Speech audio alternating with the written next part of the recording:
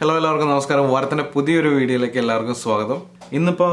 നമ്മൾ ഒരുപാട് കുറേ പേരെ ഒരുപാട് കാത്തിരുന്നൊരു വീഡിയോ ആയിരിക്കും എന്നോട് ഒരുപാട് പേര് റിക്വസ്റ്റ് ചെയ്തിട്ടുണ്ടായിരുന്നു സാലറി എത്രയാണ് ഇവിടെ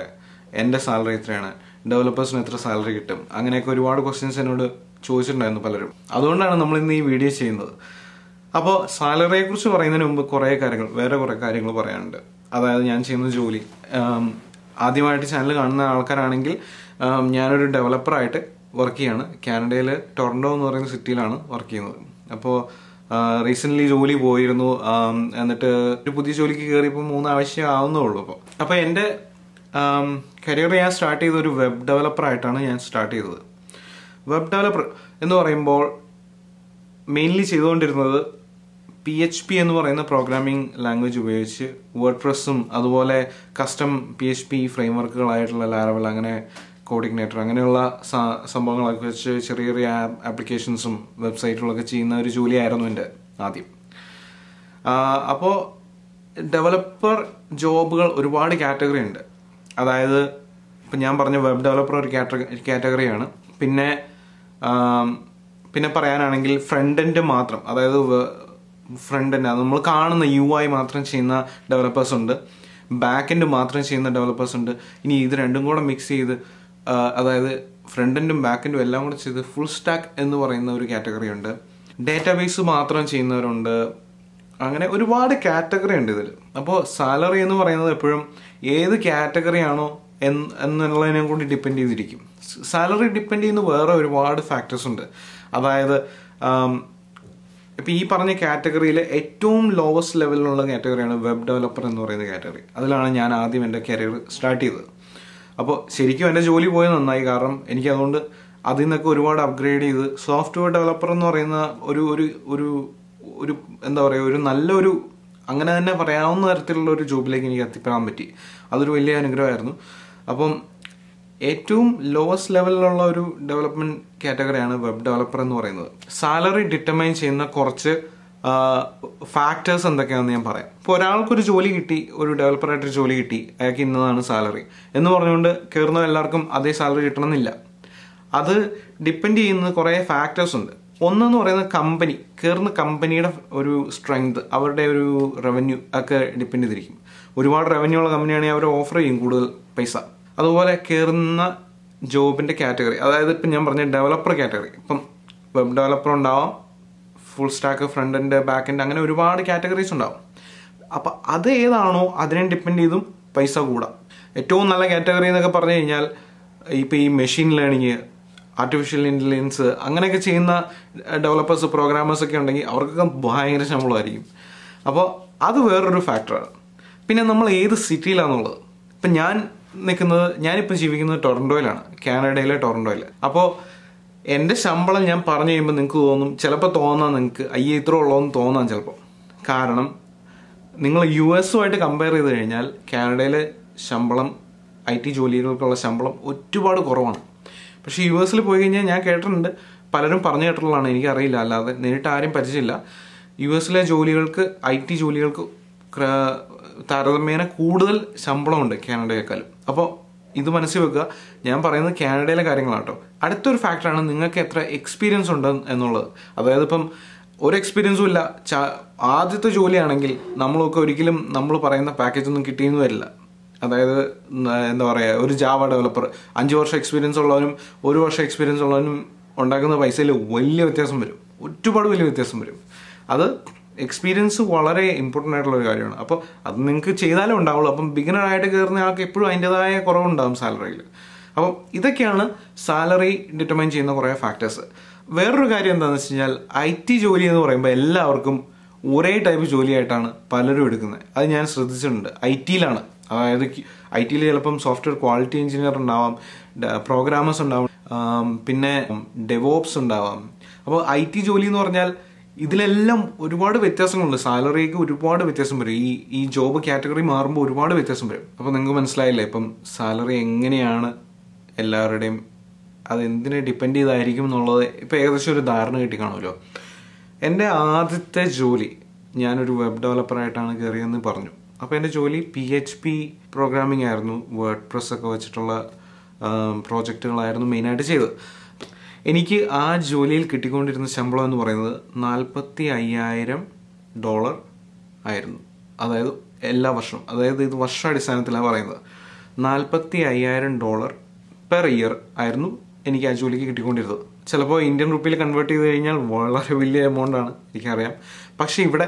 ടാക്സ് ഉണ്ട്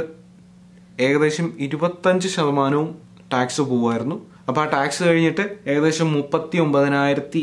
സംതിങ് ഒരു ചില്ലറയും കൂടെ കിട്ടുമായിരുന്നു അപ്പം ഇതായിരുന്നു ശമ്പളം വർഷത്തിൽ അപ്പോൾ അതിനെ മാസത്തിൽ നോക്കിക്കഴിഞ്ഞാൽ ഏകദേശം മൂവായിരത്തി ഇരുന്നൂറ്റി അറുപത് ഡോളറോളം വരും എന്ന് പറഞ്ഞാൽ ഇന്ത്യൻ റുപ്പി നോക്കുമ്പോൾ ഏകദേശം ഒന്നര ഒന്നര ലക്ഷം രൂപ ആയിരുന്നു കിട്ടിക്കൊണ്ടിരുന്നത്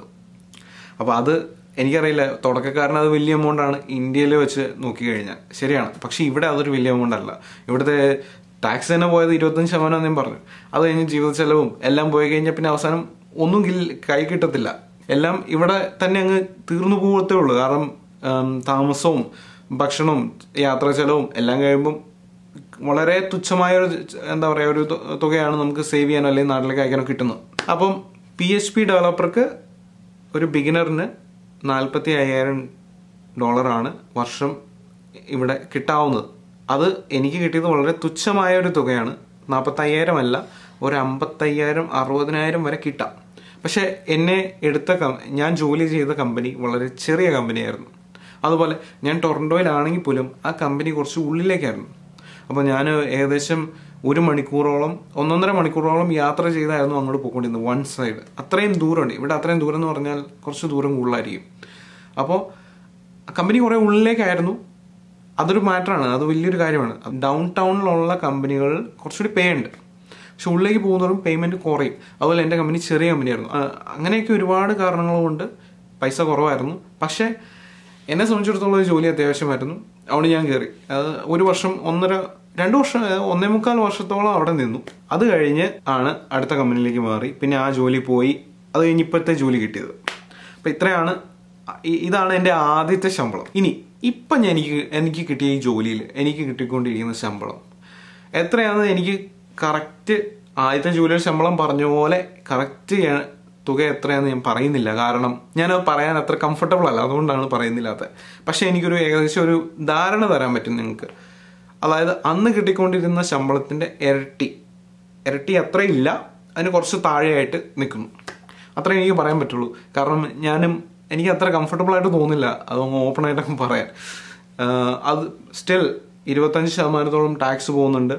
എന്താ പറയുക ജീവിത ചെലവ് അതെല്ലാം അങ്ങനെയെല്ലാം ഒരുപാട് ചിലവുകളുണ്ട് അപ്പം ഇതെല്ലാം കഴിഞ്ഞ് സാലറി സാലറി ഇത്രയാണെന്ന് നമ്മൾ പറയുമെങ്കിലും ടാക്സ് ഒന്നും നമ്മൾ കണക്ക് കൂട്ടുന്നില്ല പക്ഷേ ടാക്സ് എല്ലാം കഴിഞ്ഞ് കൈ കിട്ടുമ്പോൾ ഇതൊന്നും ഉണ്ടാവില്ല അപ്പോൾ അതാണ് ഞാൻ പറഞ്ഞു വരുന്നത് ചിലപ്പം യു എസിലൊക്കെ ഉള്ളവർ കേട്ടുകഴിഞ്ഞാൽ കഴിഞ്ഞാൽ അല്ലെങ്കിൽ യു എസിലുള്ളവർ ബന്ധുക്കളായിട്ടുള്ളവരൊക്കെ ഉണ്ടെങ്കിൽ അവർ കേൾക്കുകയാണെങ്കിൽ ഇപ്പോൾ തോന്നും അയ്യേ ഇത്രയൊക്കെ ഉള്ളോ കാരണം യു എസിലൊക്കെ എൻ്റെ ഈ പ്രൊഫൈലിൽ ജോലി ചെയ്യുന്ന ഒരാൾക്ക് അമേരിക്കയിലൊക്കെ പോയി കഴിഞ്ഞാൽ ഒരു ഒരു ലക്ഷത്തി അൻപതിനായിരം ഡോളറൊക്കെ വർഷം ശമ്പളം ഈസി ആയിട്ട് കിട്ടാമെന്നാണ് ഞാൻ കേട്ടിരിക്കുന്നത് എന്നാൽ നമുക്കങ്ങനെ ഓടിച്ചൊന്നും മേടിക്കാനും പറ്റില്ല അങ്ങോട്ട് പോകാനൊന്നും അങ്ങനെ പറ്റില്ല അപ്പം ഇത് കാനഡയാണ് ഇവിടെ ഇത്രയൊക്കെയാണ് ഇവിടെ ഇത്രയൊക്കെ ഉള്ളൂ ശമ്പളമൊക്കെ പക്ഷെ അത് എന്താ പറയുക അത് തന്നെ വലിയ കാര്യം ഞാൻ പറഞ്ഞതിലെ ഒരു പ്രധാന പോയിന്റ് ഇതാണ് ഏത് രാജ്യത്താണ് എന്നുള്ളതിനെ ഡിപ്പെൻഡ് ചെയ്ത് സാലറി ഒരുപാട് വ്യത്യാസം വരും ഈവൻ ഒരു രാജ്യം എടുത്താൽ അതിലെ ഏത് സിറ്റിയാണ് ഏത് ഏരിയ ആണ് ലൊക്കാലിറ്റി ആണ് അങ്ങനെയും ഒരുപാട് വ്യത്യാസം വരും കാനഡയിലെ ഏറ്റവും ഞാൻ പറയുന്നത് one of the highest paying ജോബാണ് ഐ ടി ജോബുകൾ ഐ ടിയിൽ ഡെവലപ്മെൻറ്റ് ജോബുകൾ കാരണം വേറെ കാറ്റഗറി ഉണ്ടെന്ന് ഞാൻ പറഞ്ഞു ക്വാളിറ്റി എഞ്ചിനീയേഴ്സ് ഉണ്ട് ഡെവോപ്സ് ഉണ്ട് അങ്ങനെ ഒരുപാട് കാറ്റഗറി ഉണ്ട് പക്ഷേ ഇതിലെല്ലാം ഹയസ്റ്റ് പേയിങ് ആയിട്ടുള്ള ജോബ് ഡെവലപ്പർ ജോബ് തന്നെയാണ് പക്ഷേ അത്ര എളുപ്പമായിട്ടുള്ള ജോലിയല്ല എല്ലാവരും പറയാറുണ്ട്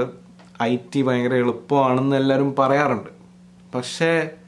അത്ര എളുപ്പമുള്ള ജോലിയല്ല അതായത് കുറച്ച് ക്രിയേറ്റീവായിട്ട് നമ്മൾ മുമ്പോട്ട് പോകേണ്ട ജോലിയാണ് അതുപോലെ എല്ലാ ദിവസവും നമ്മൾ പുതുതായിട്ട് ഓരോ കാര്യങ്ങൾ പഠിച്ചുകൊണ്ടിരിക്കേണ്ട ഒരു ജോലിയാണ് അല്ലെങ്കിൽ നമ്മൾ ഔട്ടാവും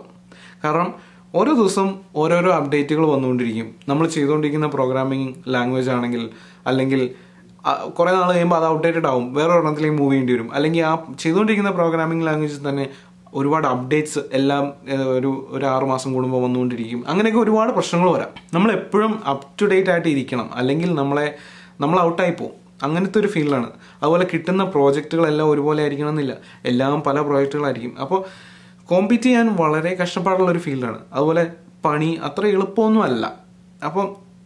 നമുക്ക് ഓടി അങ്ങ് കയറാൻ പറ്റില്ല വളരെ കോമ്പീറ്റിംഗ് ആയിട്ടുള്ള കോമ്പറ്റീഷൻ ഉള്ള ഒരു ഒരു ഫീൽഡാണ് കഷ്ടപ്പാട് ഒരുപാടുണ്ട് ഒരുപാട് കഷ്ടപ്പാടുണ്ട് പിടിച്ചു നിൽക്കാൻ അത്ര വളരെ സ്ട്രെസ്ഫുൾ ആയിട്ടുള്ളൊരു ഇതാണ് കാര്യം നമ്മൾ കമ്പ്യൂട്ടറിന് മുമ്പിൽ ഇരുന്ന് ജോലി ചെയ്യുന്നു പക്ഷെ ഒരുപാട് സ്ട്രെസ്സുള്ള ജോലിയാണ് നമുക്ക് എന്താ പറയുക ഓരോ ഡെഡ് ലൈൻസ് മീറ്റ് ചെയ്യുക അങ്ങനെ ഒരുപാട് കാര്യങ്ങളൊക്കെ വരുമ്പം ഒരുപാട് സ്ട്രെസ്സുള്ള ജോലിയാണ് ഇപ്പോൾ ഓൾറെഡി ഡെവലപ്പേഴ്സ് ആയിട്ടുള്ള ഫ്രണ്ട്സിന് അറിയാം എത്രത്തോളം കഷ്ടപ്പാടുണ്ടെന്ന് ഇതിനോടൊരു പാഷൻ ഇല്ലാതെ നമുക്കിതിൽ പിടിച്ചേക്കാൻ പറ്റില്ല അത്രയ്ക്കും കഷ്ടപ്പാടുള്ള ഒരു ജോലി തന്നെയാണ് പക്ഷേ പാഷനുള്ള ആൾക്ക് അതൊരു കഷ്ടപ്പാടായിട്ട് തോന്നില്ല കാരണം എല്ലാ ദിവസവും എന്താ പറയുക ഒരുതരം പ്രോബ്ലം സോൾവിങ് ആയിട്ടുള്ള ടാസ്കുകളും പ്രോജക്റ്റുകളും ആയിരിക്കും അപ്പം അതൊരു കുറച്ച് ഇൻട്രസ്റ്റിംഗ് ആയിരിക്കും ഇതിനോടൊരു പാഷനുള്ളവർക്ക് ഈ സാലറി സാലറി റിവീൽ ചെയ്യാനുള്ള കാരണം ഒരുപാട് പേര് ചോദിച്ചു എന്നോട് എങ്ങനെയാണ് സാലറി എത്രയാണ് അത്